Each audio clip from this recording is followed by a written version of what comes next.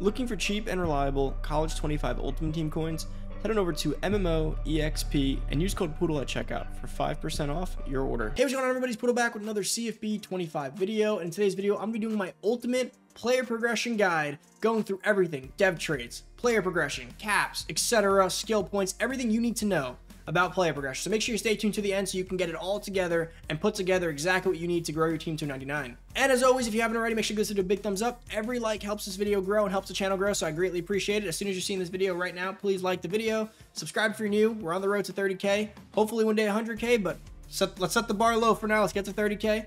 And of course, if you guys need any help, comment down below and or DM me on Twitter. You can send me your favorite your favorite rebuild, your dynasties, whatever you're working on, send it to me over on Twitter and follow me over there. And of course, if you haven't, check out Underdog. My link will be down below in the description. Sign up now so you can get ready and have your bonus all ready to go for when the college football season starts and the NFL season starts. All right, so let's go through player progression. There's so much to talk about. There's so many questions. People don't get it. I'm going to go through everything. So come on over to roster. That's where you're going to look at everything. Everyone keeps asking me how to see all this. Go over to roster and you want to click Y and or triangle if you're on PlayStation when you get to this roster spot this is there's so much to go through. So let's start with the first thing. What is player progression? Player progression is growing your players for anyone that doesn't know. So when you get these recruits, they come in anywhere between a 50 and a 70 to 80 overall. These players will grow throughout their collegiate career, and there's so many ways to go about go about player progression, how to do this. So let's start with the first and foremost, the biggest thing to note when going to a player. So let's start with my favorite guy, Jelani Watkins, wide receiver, 72 overall when assessing. I like to assess freshmen for growth, so keep in mind when I'm doing this. So like when you when you get a new rec recruiting class, you pick a new team, always check out your freshmen and start there because that's really going to be the, the the future of your team. So go to Johnny Watkins, click Y under triangle. So the first thing to take note when doing player progression is going to be the development trait. Let me explain what development trait means. A lot of people think that the development trait is the end all be all. I had an elite guy, he didn't grow. Why is that? I had a star guy, he grew a lot. Why is that? I had a normal guy, he grew. Why is that? I'm gonna go through all this now. So star dev trait, read it. It says it. Development develops faster than impact rate. So development is how quickly they accrue XP, how quickly they can level up when doing so, right? So let's say you're a normal dev and you get, you may need 10,000 XP to get a skill point. A star dev guy needs only 7,500. A elite guy may only need 4,000, right? That's the point. So these guys can quickly accrue skill points. A lot of people were telling me, hey, I had this elite player and he barely grew and he, he the offseason came and the big jump happened, didn't work. So the offseason jump seems to be unrelated from the dev trait in that sense, right? The offseason jump seems to be mainly based on a few other factors, which I will get into, so make sure you stay tuned for that. But let's start with the let's start with the dev trait, right? That's just for XP. They develop faster. While I do think it does play a role in their overall career growth, keep in mind that the XP is a big part of that. Now, if you see in the top right corner, we have skill points. To accrue skill points, below the 72 overall, there's that grayed out bar. That bar, as it fills, gets you skill points. How do you get skill points? When playing in games, touchdowns, yards, Heisman, Offensive Player of the Year, Wide Receiver of the Year, all those awards give you XP. So that's why sometimes people don't realize this. When you have a big season with players and they have all these skill points and the end of the season comes and they get this big jump, sometimes it's from all those skill points. Keep in mind, skill points upgrade automatically you can't manually do it. So if you come over here, you'll see three skill points for route running, three skill points for hands, six for elusiveness. As you get higher in the tiers, it will start to cost a little bit more, and it also depends on which one it is. Like quickness right here to maximize the speed and everything is 13. So these are automatic. You can't control it, but what you can do is play well with these players and get them more skill points. People were thinking that you had to just play well with them and they would just get the big jump. Not necessarily. You're trying to accrue skill points, which then go back here.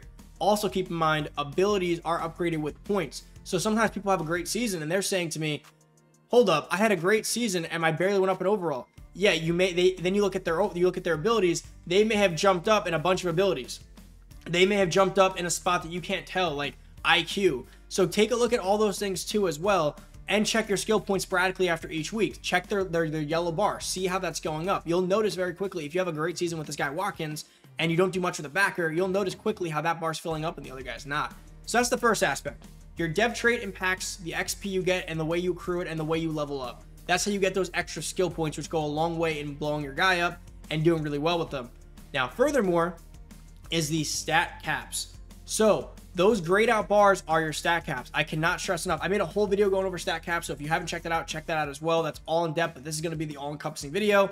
Stat caps are so important. So those grayed out boxes with the cut through them is pretty much their cap. So route running, he can get almost near the top. The way I like to look at this is when it's open like this, see how there's all blacked out bars, you can go all the way.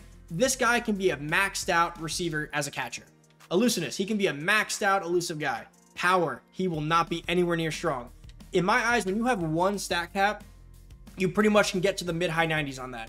When you have two stat caps, low 90s. When you have three or more, you're talking 80s at the highest, right? Once you get to that three, you're talking 80s at the highest, and so on and so forth. So these stat caps are going to decide the player's ceiling. So this is the next part of this video. A lot of people are commenting. I have a guy, I have this normal dev guy, or I have this three-star gem.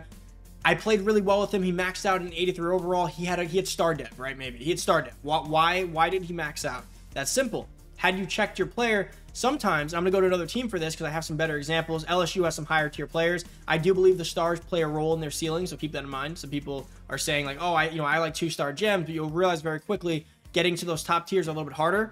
So for instance, if you go to cornerback for Marshall, this first guy right here, Foster, he's a two-star player. He's a normal dev player. Look at all these stat caps he has. His zone coverage will never be higher than a 90 probably. His hands will never be higher than a 70. His man coverage will cap at the low 80s.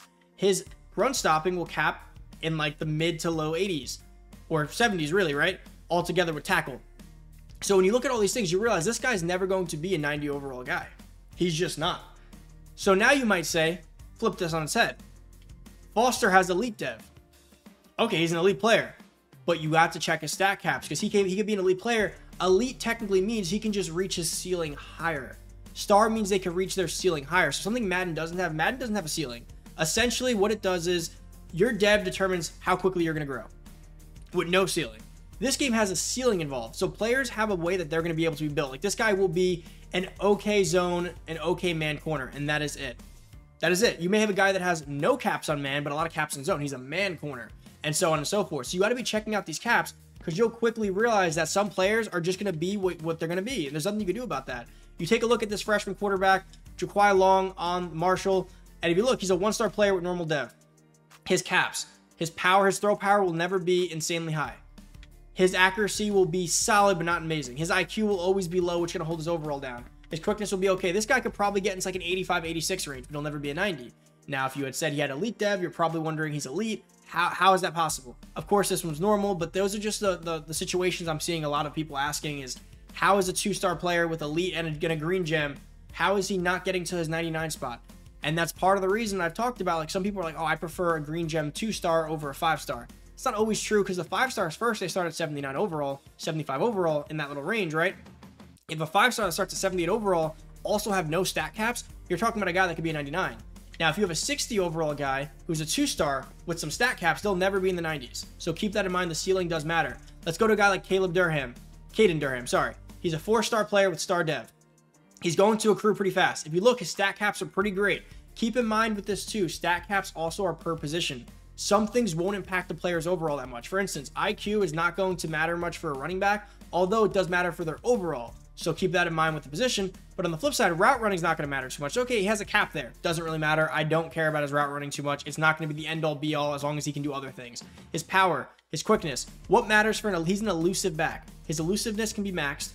His hands can be maxed. His route running can't be. He can. His hands are great. His looseness are great. His route running's fine. He's not a receiver, and his quickness can be maxed. As an elusive back, his overall potential is insanely high. He could easily get like a 94, 95 overall because all he has caps on are on things that aren't going to impact his overall too much, and he has star dev. These are the guys that you want to be prioritizing when progressing players. Players that have good dev, players that have good stat caps, and players that have pretty high starting overalls as freshmen. So now getting to the next part of this, the year matters as well. The biggest jumps that I've seen is freshman year and then sophomore to junior. After that, you're not really seeing huge jumps anymore. So understand that those are the biggest years to jump. So as a 60 overall player, potentially, with maybe elite dev and a freshman but low caps, yeah, you might get that big jump to 70, but that was your big jump. And then as a sophomore, you might get your next big jump, 80. That's it. You're now a junior at 80 overall. So those two stars are capped. So keep that all in mind. What I recommend when progressing players, go through your roster and start the guys that have large caps with high dev traits. Those are the guys that I recommend starting. So if they're elite dev or star dev and they have almost no caps or maybe one at the end, like you see with this guy right here, barely anything, these are the guys that have maximum potential. These are the guys that you see with the yellow bar filling at the top that can get up and keep increasing. These are the guys you want to you want to prioritize. So I hope this does help you guys kind of understand that better. I feel like this was really confusing for a lot of people on how player progression worked, but it's all circumstantial per player. One last example here. This guy's impact dev. Okay, his ratings, he only has a few caps. He's not bad. His ceiling's actually okay. He's a running back. His elusiveness can get pretty high. His quickness can get pretty high. His power can get pretty high. This guy has a pretty good ceiling, but he only has impact dev. What that tells you is that while he can have a pretty high ceiling, he's not going to accrue XP that quickly. So you're going to have to pretty much pray for a big offseason jump, which is the next part of player progression. As you guys know, when you when you advance to the offseason, there's a week called training week, and your players progress, which I'm going to go through now. So players like that, you're basically relying on an offseason week right? You're relying on a big training week upgrade. Players with high dev trait and high ceilings, you're trying to play with them.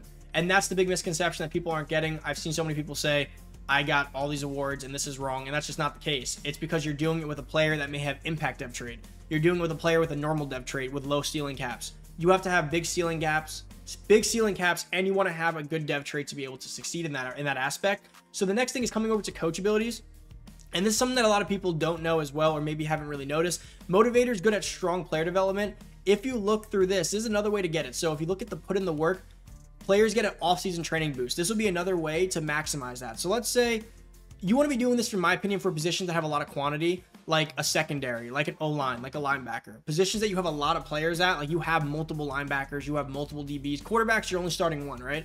There's a good way to maximize your O-line. Let's say you have a bunch of O-line with good dev traits, and they have they have good caps, they have good everything. You get that put in the work one, and now when the offseason training boost comes out, you'll make sure you get a bigger boost. So that's how you increase that chance. A lot of people have said that too. I'm not getting many training boosts. That's because you may not have all your packages on top of some other factors, and that's going to lower your ceiling when doing that. Next, we want to look at, which is a little out of place a little bit here, but as you guys see under Architect, which is pretty interesting, quarterbacks earn additional XP for in-game goals. I like this one, and this is where I was telling people where they were saying the whole XP thing doesn't work. That's not the case because you could see it. You could read, you could read the the copy here and see it you earn additional XP. So if you do want to go ahead and also build this, let's say if you're like Durham, I may want to buy that package year one, running backs on additional XP. That way, by his junior year, I've accrued so much extra XP with him that he could grow. And the next thing is the Limitless package. This one is really good. Chance to increase a random skill cap when leveling up. So basically, let's say Durham only had that one skill cap that bothered me, or my wider or my quarterback had only one skill cap that bothered me, like his throw power was a skill cap.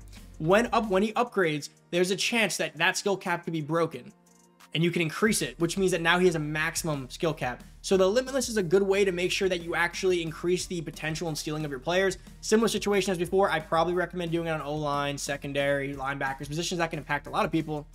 That way, let's say you have a few linebackers that are capping at around 88, 89, this Limitless might get them to 90. It gives them that little extra nudge on their ceiling. And then if you look on down, there's a few more. Can't stop, won't stop. Earn extra XP bonus for every three game win streak. Then there's put a ring on it. Chance to increase the skill cap with a conference or national title. Those are a lot harder to get, but again, if you're a guy that's if you're Georgia, your team that's consistently winning, that could be so useful. You're winning natties back to back conference you're just knocking out skill caps on players. So that's the last aspect. So to wrap it all up, I hope this was help. I hope this was helpful. Dev traits, player stat caps, overalls, XP, all separate things that work together. I feel like everyone was putting them in the same box and not really getting it. So dev traits are how quickly you can accrue XP. You combine that with those packages and you can accrue XP quicker, which will give you bigger jumps that are unrelated to the offseason training jump. Having packages that give you better offseason training jumps with better stat caps gives you the higher ceiling to improve, and so on and so forth. The best style of player you can get is an elite player with a high starting overall that has no stat caps. So let's say you have a quarterback that's 78 overall, they have almost no stat caps, they're an elite dev player. Start him, play him, that guy will be a high 90. No, no doubt in my mind. The worst thing you can do is assume that a 60 overall elite guy will be a 90 because honestly, even if they get two 10, 15 point jumps, you're getting close to 80. And that's kind of where they're going to be capping out. So keep that in mind as well and start to understand why those four and five star guys are a little bit better because they start higher. It's a lot easier to get them higher because they start higher. That's pretty much it. I hope this helped you guys out. If you have any more questions, comment them down below. DM me on Twitter. You can follow me down below. I hope this video helped you guys. It took a lot of work to get this all together. So get all this info in my head, you know. So if you did, this helped you out, make sure to drop a like in this video and make sure to subscribe this guy if this helped you guys out. Thank you so much for watching. I'm out. Peace.